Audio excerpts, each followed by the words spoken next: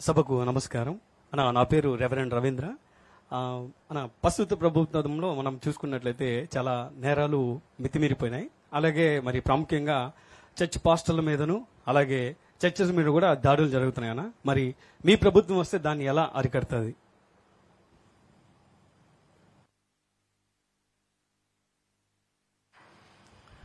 గారు బాబు గారు అంటే చట్టాలు ఉల్లంఘించే వాళ్ళకు భయం. లోకేష్ అనే వ్యక్తి కూడా చట్టాన్ని ఉల్లంఘిస్తే బాబు గారు ఒప్పుకోరు.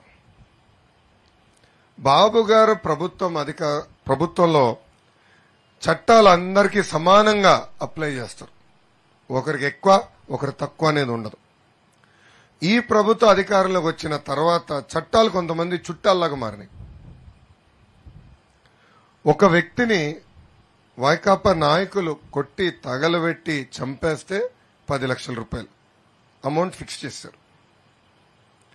ఒక చెల్లి పైన మానభంగం చేస్తే ఒక అమౌంట్ ఫిక్స్ చేశారు. వైకాపా నాయకులు కిడ్నాప్ చేస్తే ఇంకొక అమౌంట్ ఫిక్స్ చేశారు. మొన్న వెంకటగిరిలో నేను చాలా స్పష్టంగా చెప్పాను ఆంధ్ర రాష్ట్రం పాత బీహార్ లాగా మారిపోయింది. హత్యలు మానభంగాలు మన ఇటు పక్కన కిడ్నాప్లు దాడులు. అంటే ఈ ప్రభుత్వం వ్యతిరేకంగా ఒక పోస్ట్ పెట్టినా ఒక ట్వీట్ పెట్టినా మాట్లాడినా ఇమ్మీడియట్గా మన పైన దాడి చేస్తారు. కొన్ని సందర్భాల్లో అయితే పాస్టర్ గారిని తిరిగి ఆ చర్చిలోకి అడుగుపెట్టి లేదండి బయటికి గెంటేశారు. చర్చిలోకి అడుగుపెట్టలా. చర్చ్ పైన వైకాపా జెండా ఎగరేస్తారు. ఎక్కడ పోతున్నామండి సమాజం? నేను ముందలే చెప్పా. మనందరం ఒక మతం పాటిస్తాం. మిగతా మతాల్ని గౌరవిస్తాం. అది లేకుండా పోయింది. దానికి కారణం ఏంటి ముఖ్యమంత్రి గారు. ఇన్ని దాడులు జరిగినాయి. ఇన్ని హత్యలు జరిగినాయి. ఇన్ని మానభంగాలు జరిగినాయి. సొంత ఎంపీ కుటుంబాన్నే కిడ్నాప్ చేశారు. అది అందరం చూసాం ముఖ్యమంత్రి గారు సమీక్ష చేశారండి. ముఖ్యమంత్రి గారు డీజీ గారిని పిలిచి ఏం జరుగుతుంది? తమాషా నా సిస్టము? ఏం చేస్తున్నారు? కనీసం మాట్లాడారా? లేదు. దానివల్లనే ఈరోజు దాడులు పెరిగిపోయినాయి.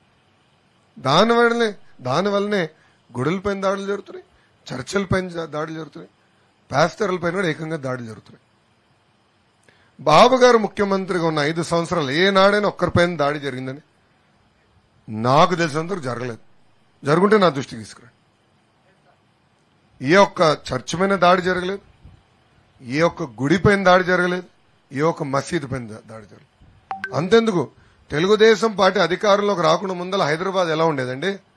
మత ఘర్షణలో రోజు కూడా జరిగేది. అదే తెలుగుదేశం పార్టీ అధికారంలోకి వచ్చినది ఎలా అయిందండి హైదరాబాద్? ఇప్పుడు మత ఘర్షణలు జరుగుతున్నాయా? లే one leader makes all the difference. ఆనాడు మేము బీజేపీతో పొత్తులో ఉన్న క్రిస్మస్ కానుక ఇచ్చాం. రంజాన్ తోఫా అందజేశాం. ఎందుకంటే కులం మతం ప్రాంతం అతీతంగా అందరం కలిసికట్టుగా ఆంధ్ర రాష్ట్రం అభివృద్ధి చేయాలని లక్ష్యంతో. సో రేపు వచ్చేది చంద్రబాబు నాయుడు గారి ప్రభుత్వమే. దాంట్లో ఎలాంటి సందేహం లేదు. వచ్చిన నిమిషం తర్వాత మీరు చూడండి లా అండ్ ఆర్డర్ ఎట్ట సెట్ అవుతుంది. చంద్రబాబు నాయుడు గారు ప్రమాణ స్వీకారం చేసిన క్షణం లా అండ్ ఆర్డర్ ఎట్ట సెట్ అవుతుందో చూడండి. భయపడతారు అందరూ. ఈ వైకాపా నాయకులు కూడా భయపడతారు. ఎందుకంటే నేను ఎవరిని వదిలిపెట్టరు. సో ఆ సందేహం మీకు అవసరం.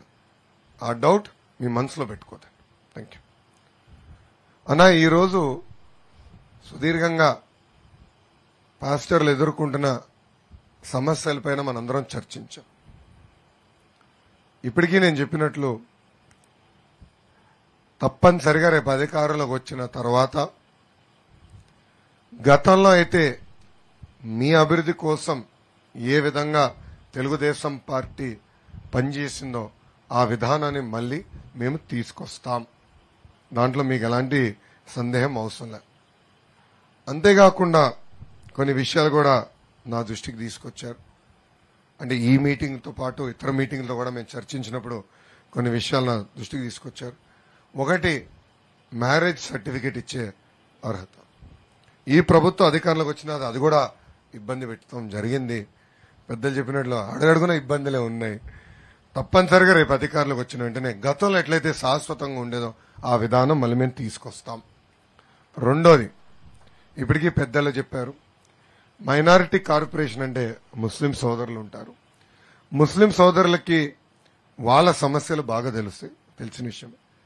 తప్పనిసరిగా రేపు అధికారులకు వచ్చిన తర్వాత క్రైస్తవ సోదరులకు కార్పొరేషన్ ఏర్పాటు చేసి నిధులు కేటాయిస్తాం జరుగుతుంది.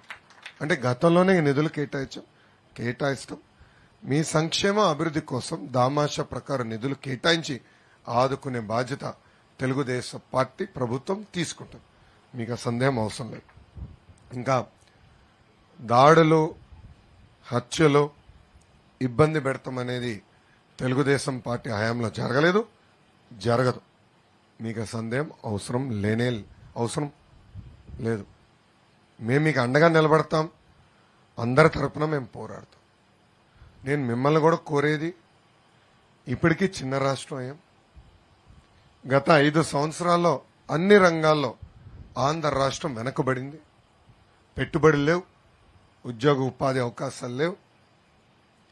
ఆంధ్ర రాష్ట్రం దేంట్లో నంబర్ వన్ అంటే దాడిలో. దేంట్లో నంబర్ వన్ అంటే మానభంగాలు. దేంట్లో నంబర్ వన్ అంటే కిడ్నాపులు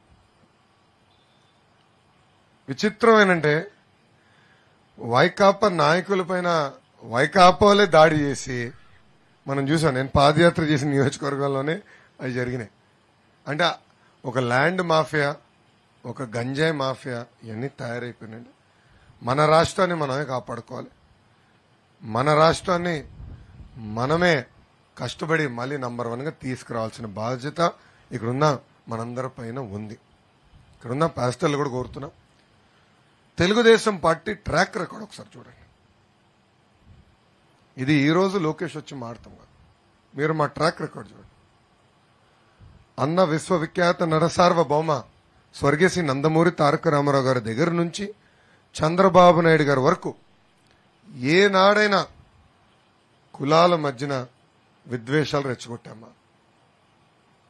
ఏనాడైనా ఒక మతాన్ని తక్కువ చూపు చూసామా దయచేసి మీరే ఒకసారి చూడండి మా చరిత్ర. పదహారు వేల కోట్ల లోటు బడ్జెట్ ఉన్నా మనకి ఎలాంటి లోటు లేకుండా బాబు గారు ఆనాడు పరిపాలించారు. Agenda is very simple. పేదరికం లేని ఆంధ్ర రాష్ట్రం. దానికి మీ సహకారం చాలా అవసరం ఉంటుందని ఈ సభాముఖం మీ అందరూ తెలుపుకుంటూ తప్పనిసరిగా మీరు చెప్పిన ఇష్యూస్ అని నేను రాసుకున్నా. తమ్ముడు కూడా మంచి ఐడియా ఇచ్చాడు. అనురాగ్ మంచి ఐడియా ఇచ్చాడు. అది కూడా నేను టేకప్ చేస్తానని ఈ సభాముఖం మీ అందరికి నేను హామీ ఇస్తూ నాకు అవకాశం ఇచ్చిన మీ అందరికీ పేరు పేరున నా హృదయపూర్వక నమస్కారాలు తెలుపుకుంటూ మీ అందరి దగ్గర నుంచి నేను సెలవు తీసుకుంటున్నా. అందరికీ నమస్కారం. జై హింద్ జై తెలుగుదేశం.